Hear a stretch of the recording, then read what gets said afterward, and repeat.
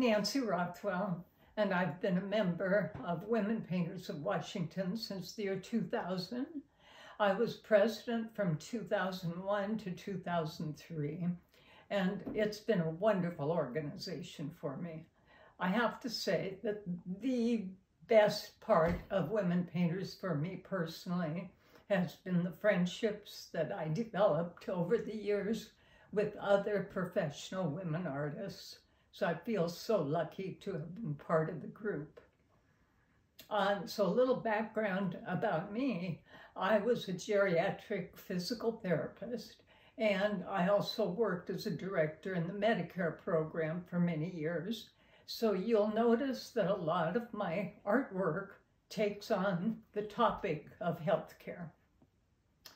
The way I got hooked on painting was because of a woman painter member, Kathy Gill.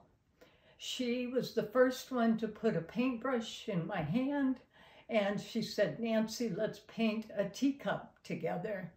And I said, oh, I could never paint. But she said, yes, you can, my dear. And the rest is history. We had a great time.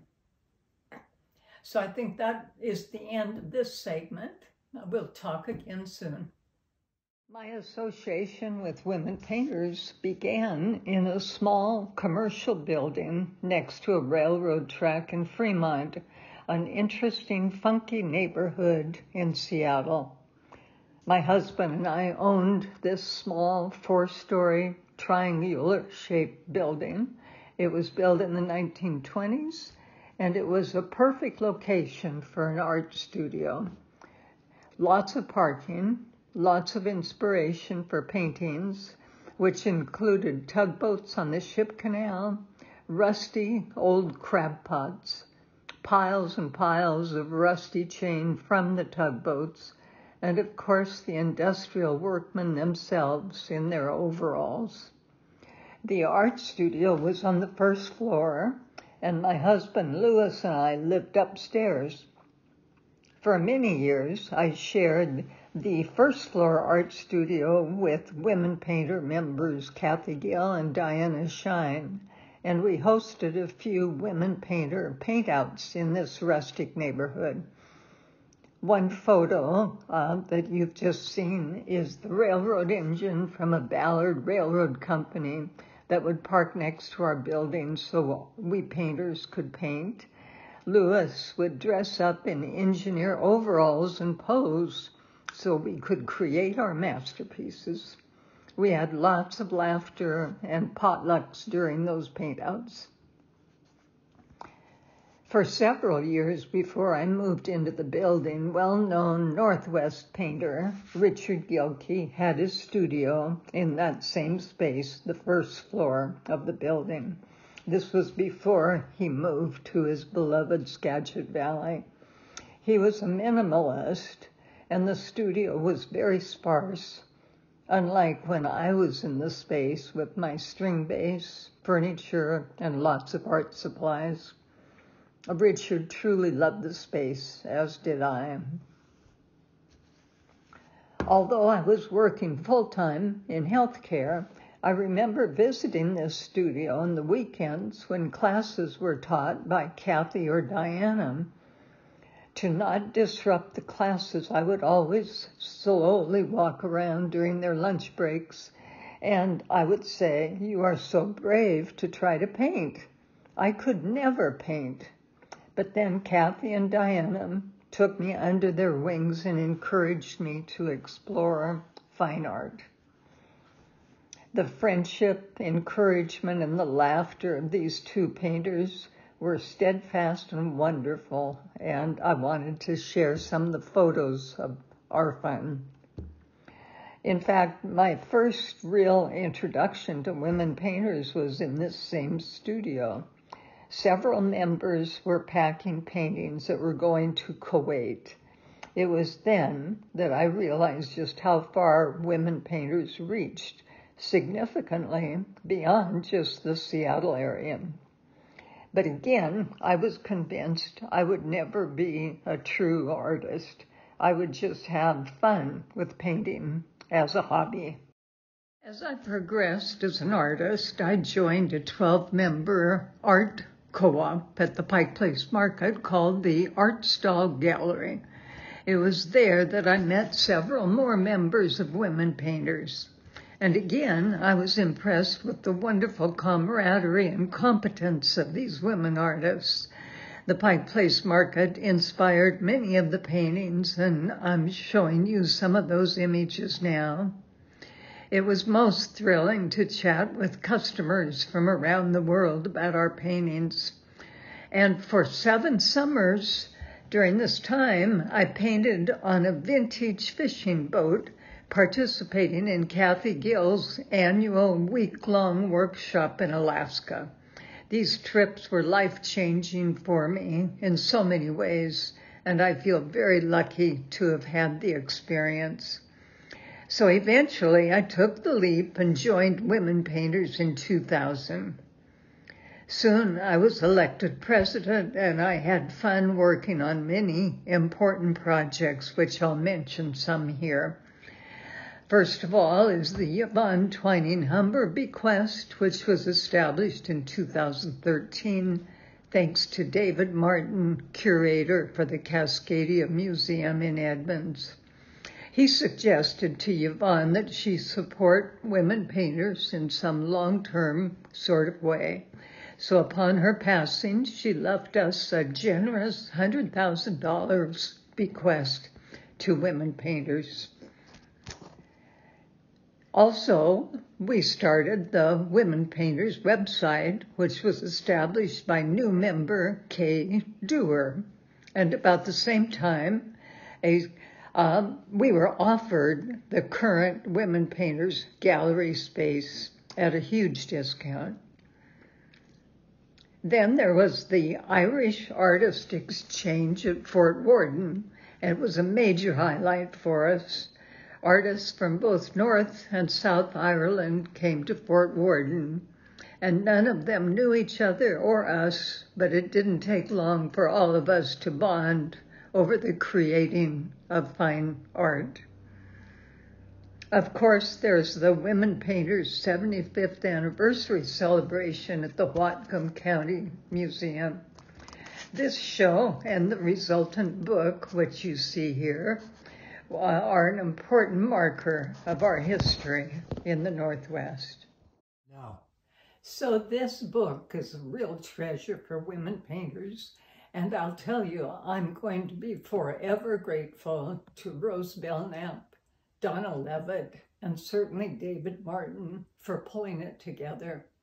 I have to say I lost a lot of sleep over this because I wasn't sure it was going to come together. I'm also grateful to Yvonne Twining Humber.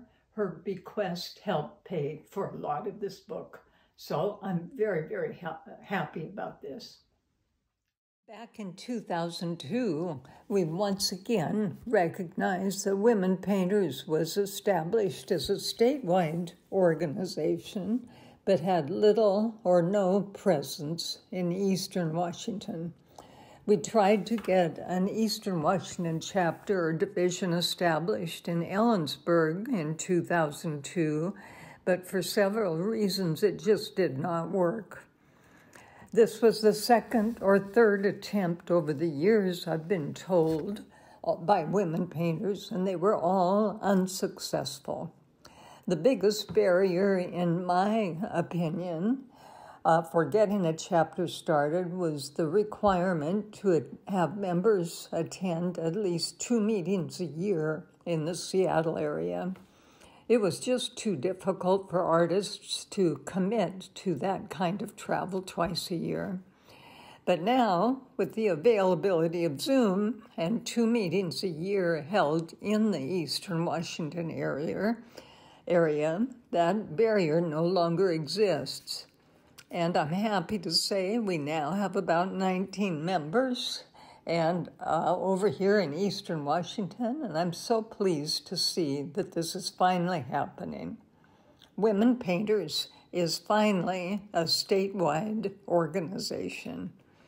These photos you've been watching were from our recent neighborhood exhibit in Chewelah.